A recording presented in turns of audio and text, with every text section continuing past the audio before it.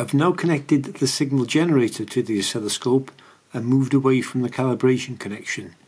I've selected a sine wave which gives us some, something a little more interesting to look at. We now have the trigger position for our oscilloscope. We can see the T. We're on the rising slope which is a forward slash for channel 1 and we're looking to trigger at 4.48 volts and I can move that voltage level so that we get to a point which is above the input voltage signal coming in and the oscilloscope will lose its ability to identify a suitable trigger position and the picture is going to move all over the screen. Coming back down to being within the parameters of the scope to pick up that position and then as I lower the voltage at which we're going to trigger so the oscilloscope triggers at a different part of the voltage pattern.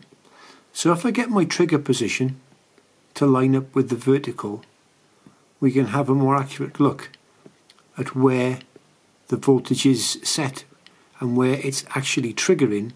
So as the trigger point on the vertical line is moved, so the sine wave will move in sympathy with that to start its cycle from that vertical position when the voltage of the trigger meets the voltage of the incoming pattern. And then we slip outside the oscilloscope can't fix itself so the voltage pattern runs uncontrollably across the screen.